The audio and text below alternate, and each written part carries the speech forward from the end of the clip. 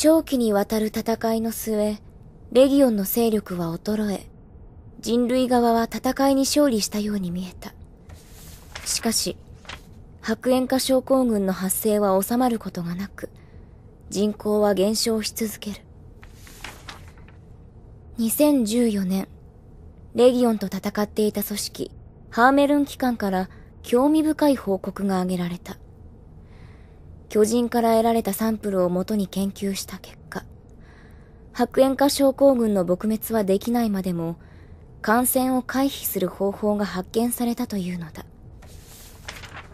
ゲシュタルト化と呼ばれるその手法は、人間の肉体と魂を分離するものである。技術的には不安定だったものの、他に白煙化症候群への対処方法がないこともあり、2030年代には世界中の人をゲシュタルト化するという計画が発表された。